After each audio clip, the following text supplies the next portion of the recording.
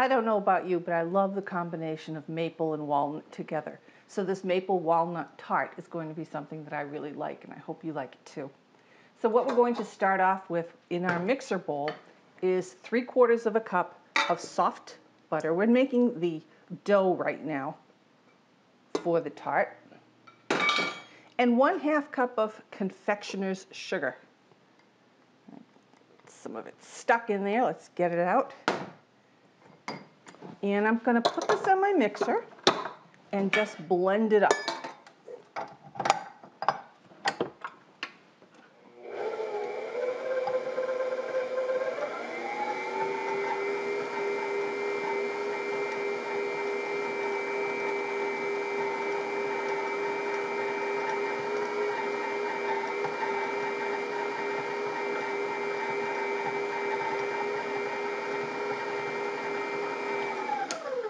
Great.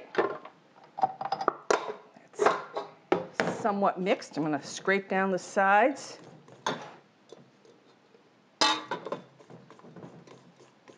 Just to make sure that everything gets mixed together. Now I'm going to add two egg yolks to this.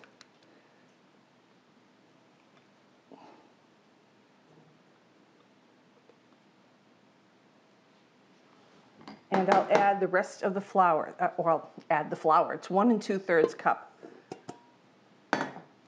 Then I have some ice water here, and as the dough is mixing, I'm going to add anywhere from three to four tablespoons. I gotta go and see how the dough goes, and of ice water.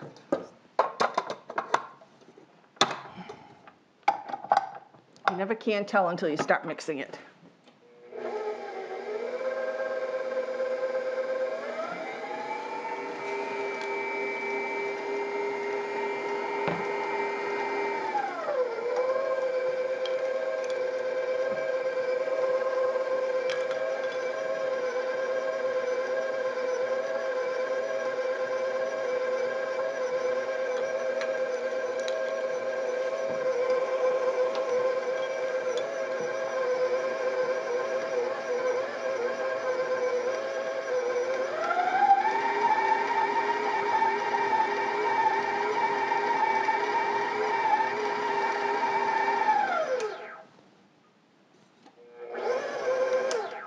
And that's it. I added three tablespoons.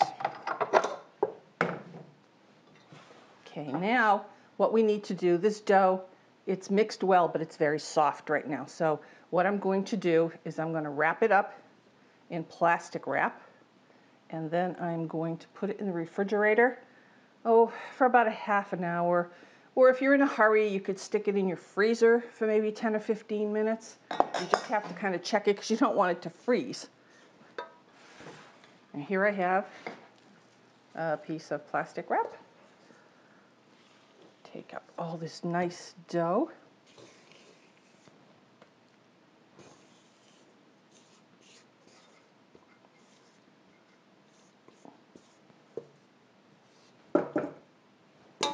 Give it a good wrap. And then what I like to do is turn it over and then kind of smoosh it. It helps it come together and I make it into a flat disc so that when I'm rolling it gives me a little bit of an edge, gives me a head start. So now into the refrigerator for half an hour or into your freezer for about 10 or 12 minutes. Here's our dough. I had it in the freezer for about 15 minutes as opposed to the refrigerator for an hour because I'm a little impatient. Let me show you, talk to you about the pans first of all. This is going to go into a tart pan. Now this is two types of tart pans. They're both nine inch diameters. This one is a round pan, removable bottom. That's what you're looking for. And this is a square version. I think just for whatever, I'm gonna use the square version today. If you don't have a tart pan, you can do this in a pie plate. You're just not gonna remove it from the pie plate later. Just line your pie plate with the dough, fill it, and bake it. So here we go. But if you're gonna do a lot of baking, invest in some of these things. Buy yourself one piece of equipment a year or something like that. I mean, I've been collecting for many years. I'm not going to tell you how many. So here we go. Some flour. And there's our dough. Get my pin. And if it cracks, don't worry about it because you're going to just fit it into this pan and no one's going to see it once you have the inside filled and baked. After I fill this pan with this dough, I am going to put this in the freezer, um, refrigerator. You could put it in the freezer, I suppose. Um, in the refrigerator for at least an hour, and then we're going to blind bake it. And if you haven't done much blind baking, I find blind baking to be one of the biggest challenges in baking. And I'll tell you why. Because it, no matter how many weights you put in it and whatever, I still have my pastry shrink away from the side. But again, when you fill it, you won't notice it. Oops. There, see? Forgiving. And again, I could have just picked this up and put it in there and just pressed it in, but I actually find that harder than doing this. Okay, let's see. Let's see where we are. A little bit more this way.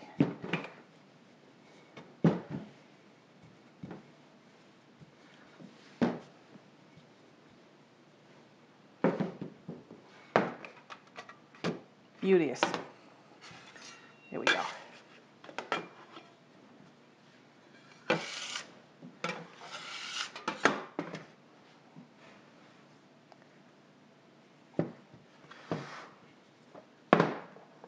And then just fit it in there. Again, like I said, if it breaks, just fit it in there. No one will know.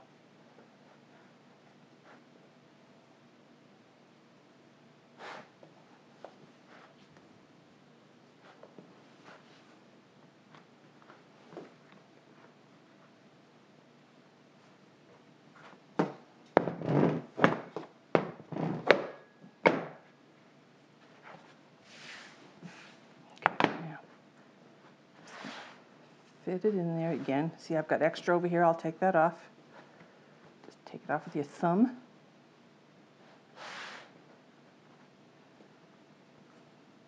It's okay to have a little bit extra from the side because, like I said, it's going to shrink away.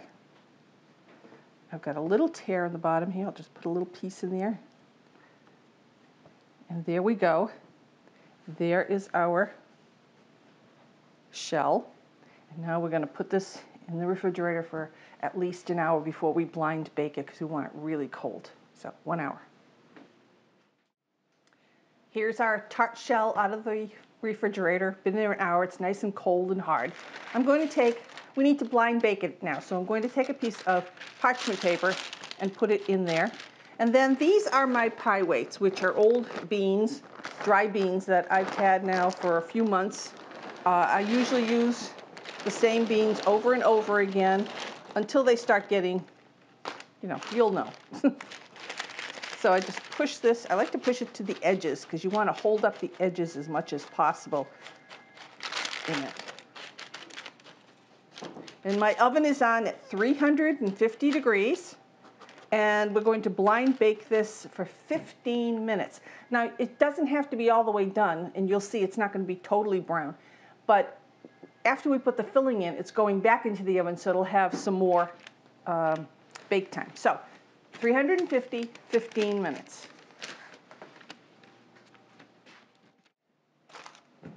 Here's our tart out of the oven. It's been in there for 15 minutes. I'm going to remove the weights.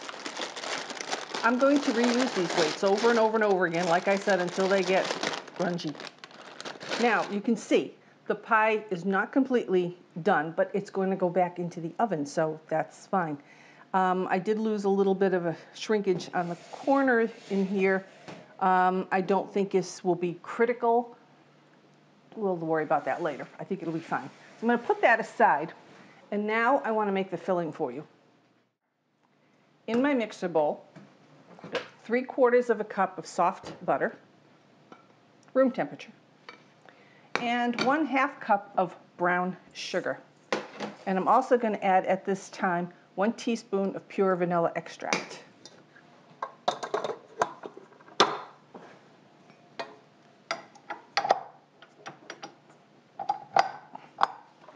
And just mix that up.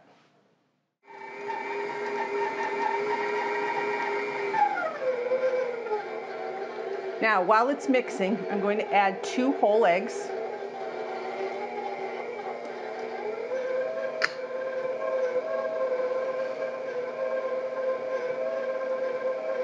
And one half cup pure maple syrup. Don't really, it's only a half a cup, really use the good stuff.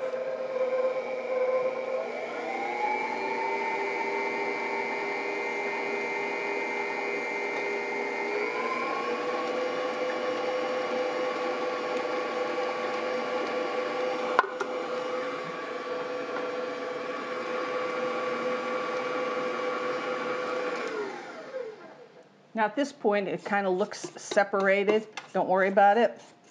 I'm just gonna mix this now. Oh, I don't know, give it three or four minutes on the mixer. I'm gonna add a half a cup of flour and we're just gonna let it go. Uh, excuse me, one third of a cup of flour.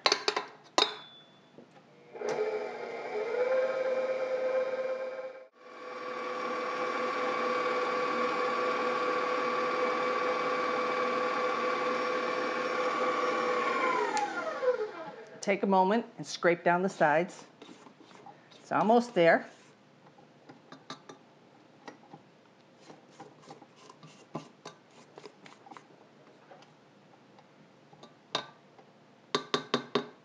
And another minute or two.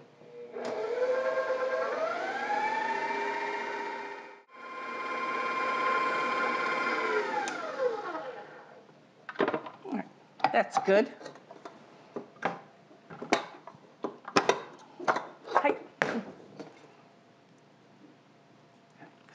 Scrape it off.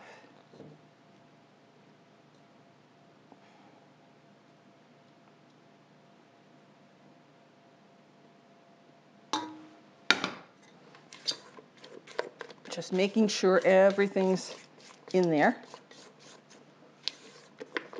And now I'm going to add two cups of roughly chopped walnuts. So you've got your maple in there, and now you've got your walnuts.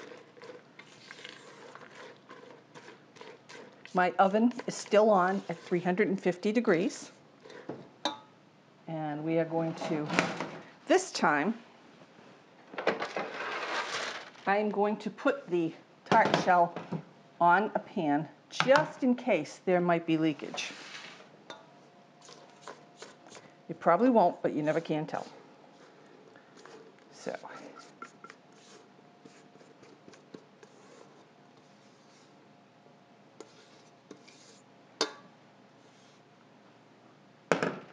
Now just spread it out.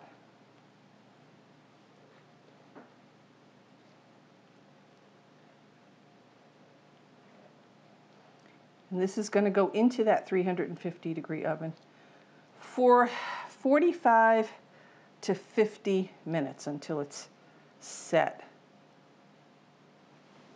So I'll see you in about 45 to 50 minutes. Here's our maple walnut tart. I took it out of the oven. I let it sit for about a half an hour and then I removed the, the uh, mold on it. It still has the bottom base. And here it is ready to go. And all I'm going to do is sprinkle a little bit of powdered sugar over the top.